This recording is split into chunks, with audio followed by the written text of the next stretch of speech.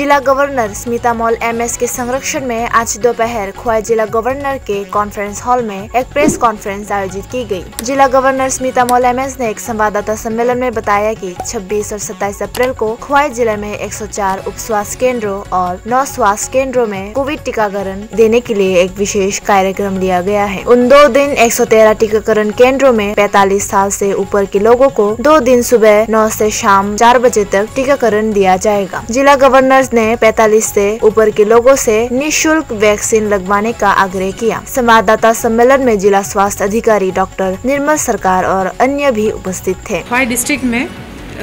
जो Covid vaccination अभी चल रहा है 45 इयर्स एज के ऊपर वाले लोगों के लिए, हम एक, फिर से एक और स्पेशल ड्राइव हम करने जा रहे हैं on twenty six and twenty April को।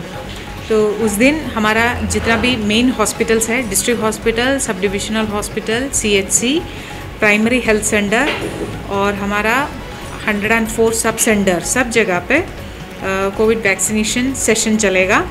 सुबह नौ बजे से शाम को चार बजे तक 26 और 27 अप्रैल को। इसमें 45 इयर्स एज और उसके ऊपर एज वाले सब सिटीजन्स एलिजिबल रहेंगे।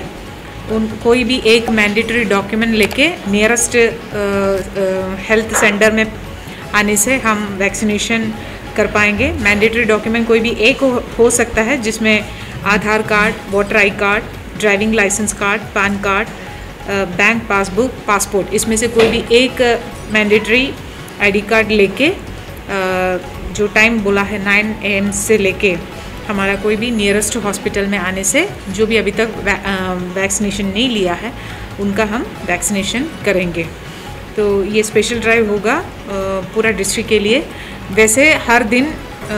कोविड सेशन वैक्सीनेशन सेशन तो चल रहा है हमारा मेन हॉस्पिटल्स और सेलेक्टेड स्वास्थ्य केंद्र में उप स्वास्थ्य केंद्रों में तो चल रहा है। उसके अलावा अर्बन एरियाज़ में जो खवाई म्यूनिसिपल काउंसिल एरिया और तेलियामरा म्यूनिसिपल काउंसिल एरिया उस जगह पे स्पेशल वैक्सीनेशन सेशंस भी हम ऑर्गेनाइज कर रहे हैं। इसके अलावा ये एक स्पेशल ड्राइव हम करेंगे, जिस दिन हम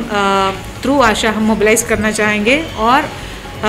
आप लोग मीडिया थ्रू मैं सभी लोग जो एलिजिबल है, जो अभी भी वैक्सीनेटेड नहीं हुआ है, उनको मैं रिक्वेस्ट करूँगी कि नियरेस्ट हेल्थ सेंटर में